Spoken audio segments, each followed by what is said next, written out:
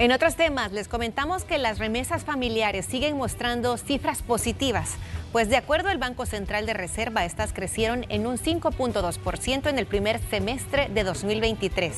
El país mayor emisor de ríes de ingresos sigue siendo Estados Unidos.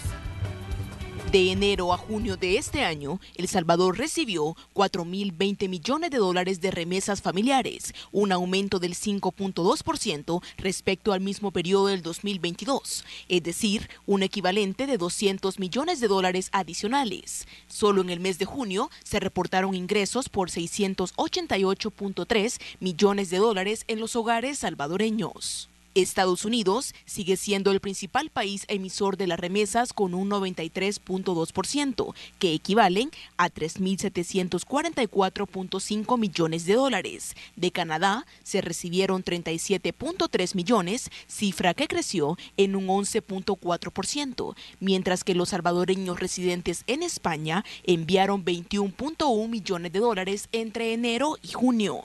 El promedio de remesas es de 316.8 a nivel nacional, aunque Chalatenango sobresale con 406.9 dólares. Los departamentos que reportaron mayor crecimiento en ese periodo fueron Cuscatlán con un 8.8%, La Libertad con un 8.7% y Morazán con un 8.1%.